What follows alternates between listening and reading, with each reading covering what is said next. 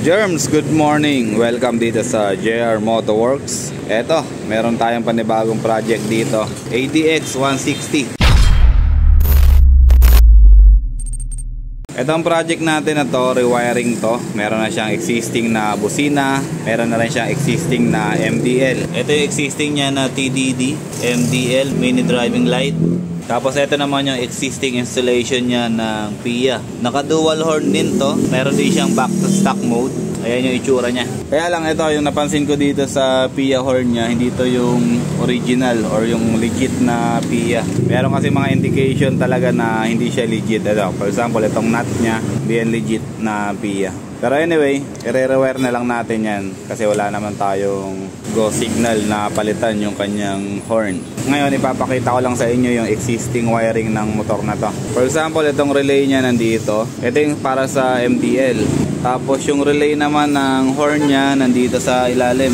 Ayun, sa loob. Tapos ito yung existing wiring niya papunta naman sa battery. Okay din naman, meron din naman siyang fuse box dito or yung fuse holder na nilagay for safety purposes ng wiring natin or wiring nila. Okay din naman. Tapos dito banda, ito rin yung itsura ng wiring niya. Ito yung sa pinaka-harness ng ano, MDL.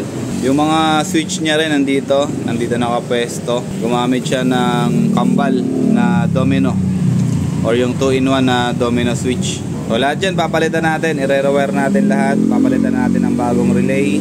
Tapos baka i-reposition natin yung PIA horn niya. Kaya lang, uh, balubaluktot na yung bracket. So baka dyan na lang din yan. Baka wala na tayong magawa dun sa PIA niya kasi balubaluktot na yung bracket niya. Hindi natin alam kung magagawan pa natin ng paraan niya. Pero titingnan natin kung maayos pa natin to yung position niya. Ito kasi naka ano eh, nakatingala yung isa, tapos ito naman nakataob. So hindi masyado maganda yung pagkaka-position ng horn natin dito. Kaya susubukan natin ayusin. Pag-additional nga pala si sir ng MDL. Ito, yung P-LED natin. 30 watts. Ito yung ilalagay natin sa ilalim. Tapos kagandahan nito, meron na siyang dalang mounting bracket. Doon natin to ilalagay sa may T-post niya. Nakakabit sa T-post niya. Ito design for ATX 160 talaga to. Kaya hindi na tayo mahihirapang mag-mount mamaya. Okay, balik na lang tayo mamaya. Tapos, pawiringan na natin tong motor na to. O umpisahan na natin gawin to. Para mamaya matapos na natin kagad.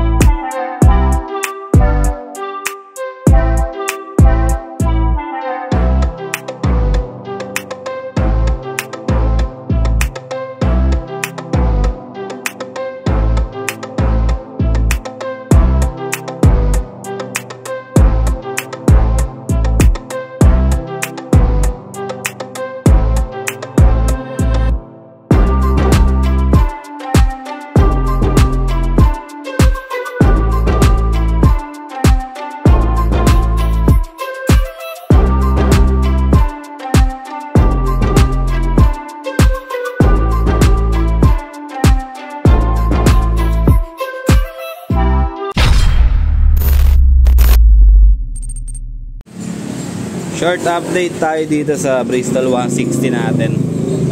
Ito, natanggal na natin yung kanyang harness. Ito yung itsura niya. Ito yung sa MDL, relay ng MDL, tapos ito yung relay ng horn. Tapos ito yung fuse box niya or yung kanyang fuse holder. Ayan. Natanggal na natin. Ngayon, ayun ito, ito yung gagawin natin na harness. Ito, itong limon na to. Tapos dito natin siya ipapwesto sa taas. Para may idea lang kayo, ganyan yung magiging itsura niya. Ganyan yung magiging pwesto niya dito sa dito sa side na to, dito sa may panel side na to. Diyan natin ilalagay yung harness natin, diyan natin ilalagay yung mga relay natin para maganda tingnan, tidy siya tingnan, malinis. Sa ngayon, ito pa lang yung nakikita nyo kasi hindi pa natin nagagawa talaga yung harness niya. Mamaya, papakita ko sa inyo kung ano yung magiging itsura ng mga relay na to. Abang-abangan nyo na lang. Germs, good morning. Balik tayo dito sa project natin, ADX 160. Ito, nasa labas. Ayan, ginagawa na yung ibang part nung sa electrical niya. ginagawa na. Tapos, ako naman natapos ko na yung harness para dun sa kanyang motor, ADX 160. So, ito na yung mga terminal, tapos dito para sa busina. Ayan, busina. Tapos yung papunta dito sa battery.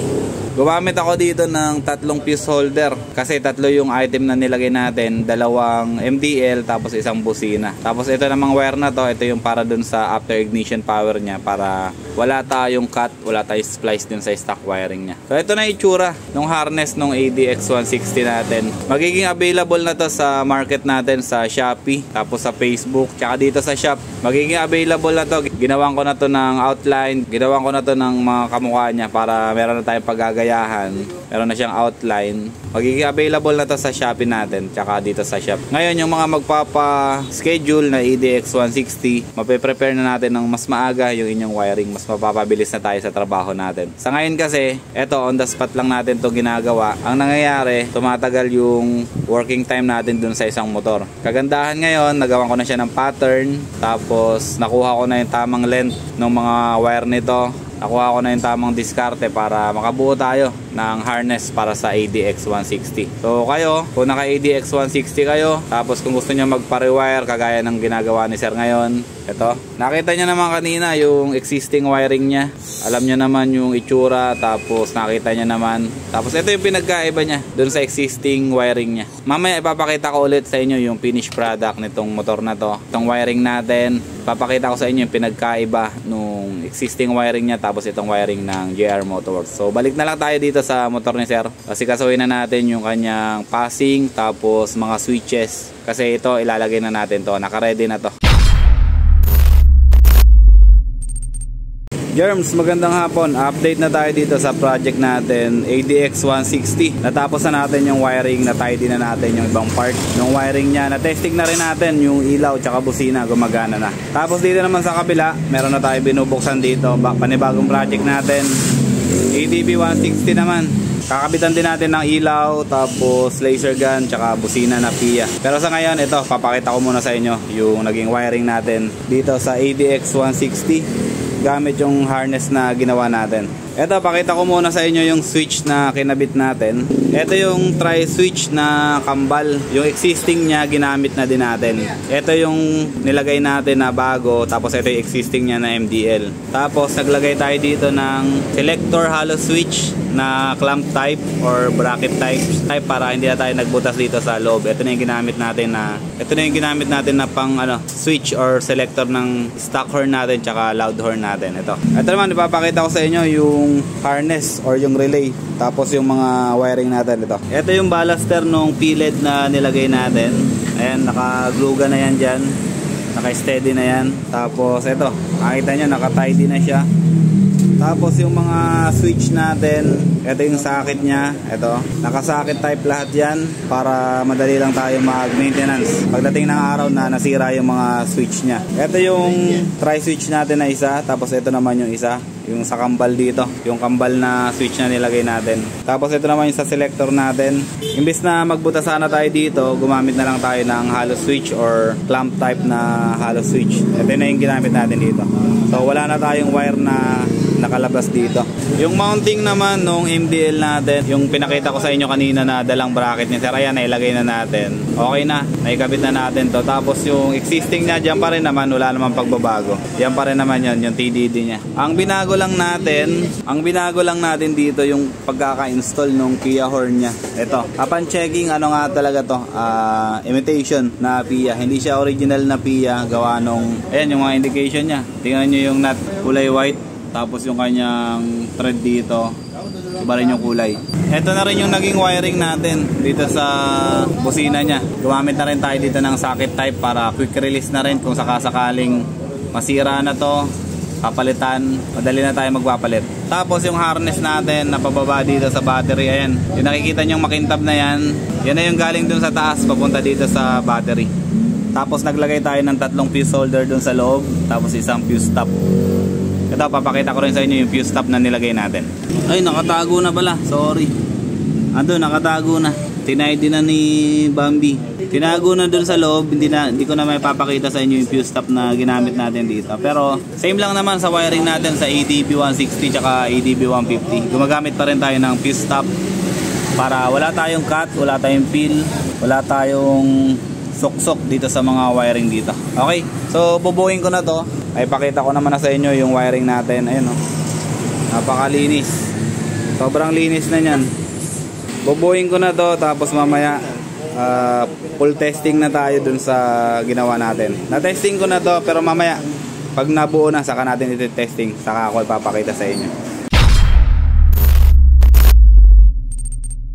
Germs, last update na tayo dito sa project natin, Bristol ADX 160. Okay na, naibalik ko na yung kaha, naibalik ko na lahat, tapos ngayon tinatay na lang ni Bumba yung ano, yung mga wire natin. Bye, testingin nga muna natin para tuloy-tuloy na tong video natin.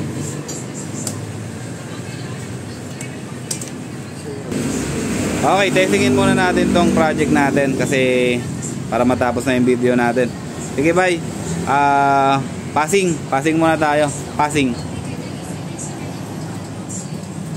Okay. Yung passing niya, naka-integrate na dun sa stock switch niya. So, bali din-disable na natin yung high nito. Wala na tong high. Tapos, ginawa natin, uh, yung passing niya, yun na yung nilagay natin dun sa MDL. Sige, high and low nung ano, nung kinabit natin na piled okay ayan yung high nya low mo okay ayan yung low nya nandito siya sa ilalim pero yung takbo ng ilaw nya ayan hindi siya natatakpan. Hindi natatakpan ng fender yung ilaw nya yung sinag ng ilaw nya okay yung existing ilaw nya testingin natin kabila naman. Okay yan yung existing ilaw nya yan yung high yung low nya dilaw. Okay so busina natin. Loud horn na yan. Okay, ayan yung ano, ayan yung pia niya na ano, loud horn. Tapos yung stock horn naman, sige. Okay. So ulitin ko, yung pia niya, hindi siya original na pia, kaya ganun lang yung sounds niya. Iba yung original na pia, iba yung output. Okay, sige. Okay na yan, bye. Bali, tatay din na lang natin yung mga wire sa ilalim. Kasi ito, mga nakalaylay pa to. Ayan tatay din muna natin tapos good to go na to. Pwede nang binyagan. Alright thank you thank you. Maraming salamat sa panonood. Ulitin ko project natin ito yung pang-apat natin na Bristol ADX 160 ito yung pang-apat natin na kinabitan sa ngayon available na yung harness nya na develop na ulit natin. Pwede na tayong tumanggap ng mga schedule na mabilis. Mabilis na installan kasi meron na tayong harness. Alright